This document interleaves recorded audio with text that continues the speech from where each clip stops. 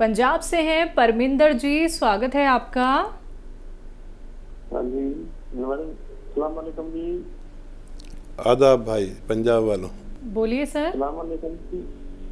जी sir वालेकुम सलाम बताएँ। स्वागत है आपका भाई बहुत बहुत हाँ जी नमस्कार जी।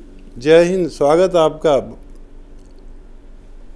मैं जी मेरे को थोड़ी प्रॉब्लम है मैं आपको बताना चाहता हूँ। एक तो मेरे को पेशाब पीला आता है जी। हम्म और? दूसरा जी मेरे ना यूरिक एसिड जो थोड़ा होता रहता है हम्म। ये मैं रिपोर्ट निकाली थी तो मेरे को यूरिक एसिड था थोड़ा सा। ठीक है। तो दो प्रॉब्लम है जी मेरे को। उम्र कितनी है? Fifty six. ठीक है सर। यूरेटर क्या बता रहे हैं? Uric acid. यूरिक एसिड बढ़ जाता है। हम्म, तो देखिए यूरिक एसिड वालों को सबसे पहले खट्टी चीज़ बंद कर देनी चाहिए।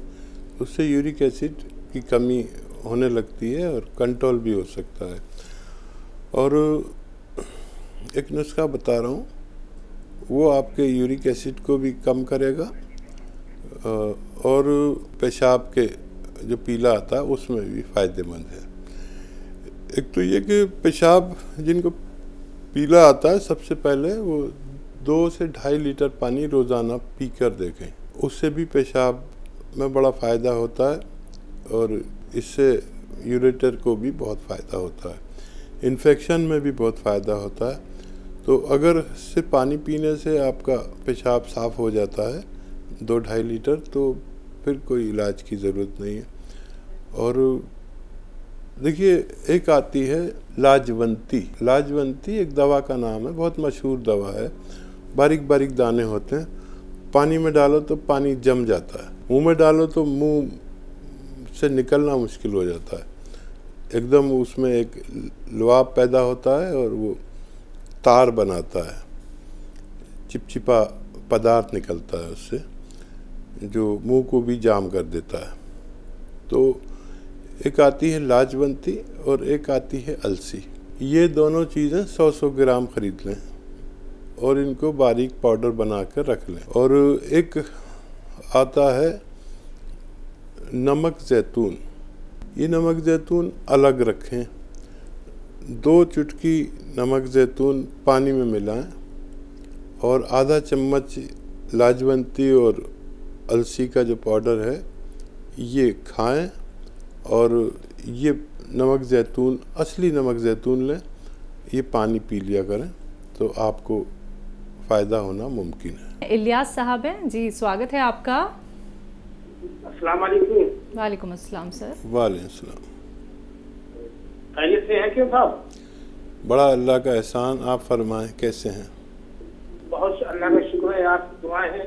और साहब आपने काफ़ी इंतज़ार कराया है। और ये इंतज़ार कितना मज़ा है ये हमें पता है।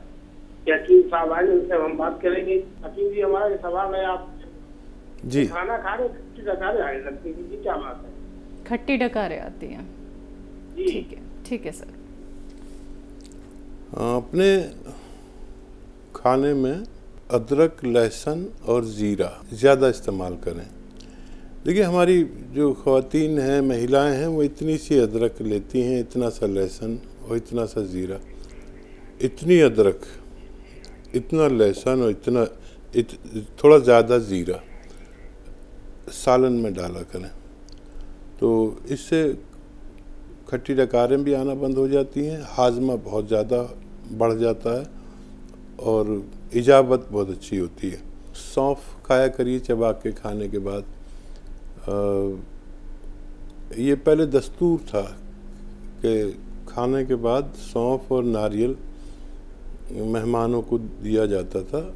ये चीज़ें भी हमें हाजमे में और एसिडिटी में, कब्ज़ में बहुत फ़ायदा करती है। जी।